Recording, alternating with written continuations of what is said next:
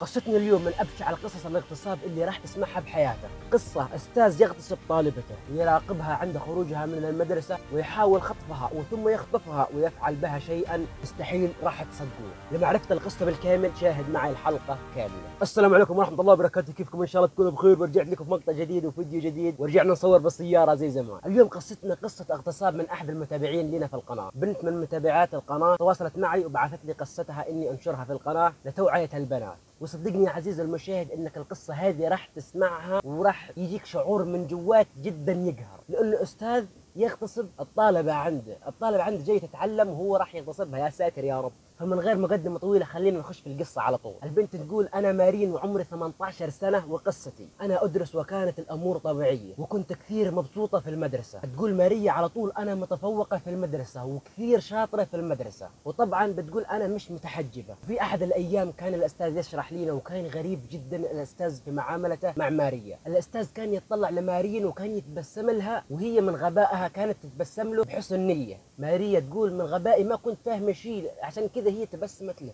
ثم الأستاذ ناداها وقال لها اشرحي على السبورة. وقال للتلاميذ ضعوا رؤوسكم على الطاولة. يعني لمين تشرح إذا التلاميذ حطوا رؤوسهم على الطاولة.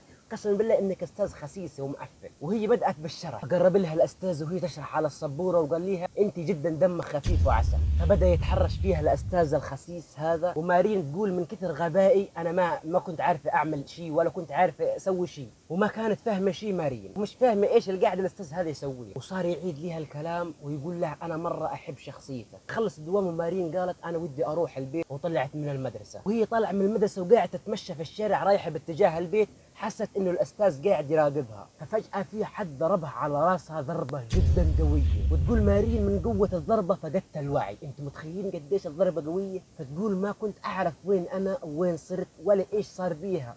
وتقول فجأة صحيت ولقيت حالي في غرفة مثل السجن. وتقول لقيت على جسمها دم كثير وكانت حالتها جدا صعبة أنتم متخيلين؟ وتقول إحس عظامي متكسرين تكسر كأنه في واحد كان نازل علي بمطرقة يضرب فيهم. وتقول قاعدة أبكي وأصرخ وأضرب على الحيطة. تقول والله العظيم إني كنت راح أموت. فجأة اجى ولا على باله شيء، مين اجى؟ الأستاذ الخسيس اللي هو خطفها واعتدى عليها، الأستاذ قاعد يقول لها لا أسمع لك صوت ونزل فيها ضرب، تقول والله العظيم انضرب الضرب في حياتي ما حد ضربني زيه، وقاعد تقول له نهرين أنت ليش عملت معي كذا؟ فبعد لما قالت له ليش عملت معي كذا برضه حاول يتحرش فيها ويعتدى عليها جنسيا وبرضه اعتدى بالفعل عليها جنسيا مرة ثانية. وبعدين تركها ورجع عليها اليوم الثاني. تقول نارين كنت أبكي وأترجاه. لو يقول لي بوس رجلي أبوس رجلي وأقول له رجعني لأهلي بترجاه. وقاعدة تبكي وتقول له أمانة رجعني أهلي وتقول الحمد لله بعد ما كنت أبكي وأصرخ وأنا بنفسية جدا منهارة. ركبنا بسيارته واتجهنا بناحيه المكان اللي إحنا ساكنين فيه. وما نزلها جنب البيت على طول نزلها بمسافة جدا بعيدة لأن الأستاذ الخسيس هذا جدا يا الله ولو أمسكك بس. تقول نزلني في آخر الشارع بعيد عن البيت ونزلت من السيارة وماشي باتجاه الشارع. قالت وأنا ماشي الناس قاعدة تطلع فيي وتقول شو مالها هذه البنت؟ وكل لبسي قال كانت كله دم والناس قاعدة تطلع فيها. وأكيد أنتم عارفين المنظر شعرها بيكون منفوش ولبسها كله دم. أكيد الناس راح تستغرب إيش اللي صاير لهذه البنت. فتقول نارين الحمد لله رجعت على البيت ولقيت أهلي ميتين علي من الخوف. لكن يا صديقي الصدمة اللي جاية يعني كل اللي أنا قلته هذا كلام فاضي والصدمة اللي جاي فتقول نارين للأسف بعد نص شهر اكتشفت إنها حامل. فقالت لأبوها وراحوا على المستشفى.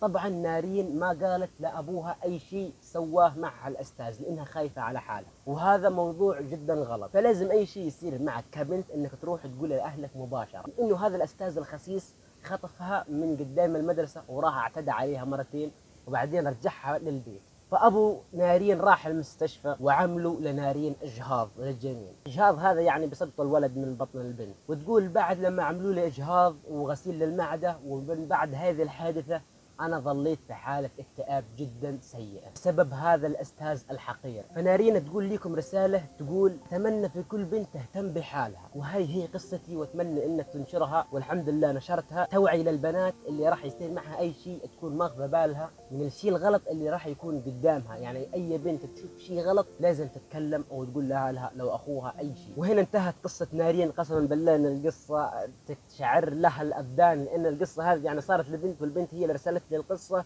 وقالت نزلها على القناة ليستفيد منها الغير ليستفيد منها الغير يعني وما البنات تطيح في نفس الغلط اللي هي طاحت فيه. بتمنى إذا أنت واصل لهذه اللحظة دعمنا بلايك واشتراك وفعل الجرس وإن شاء الله القصة اخذت عبرة منها وأشوفكم في فيديو جديد إن شاء الله ومع السلامة.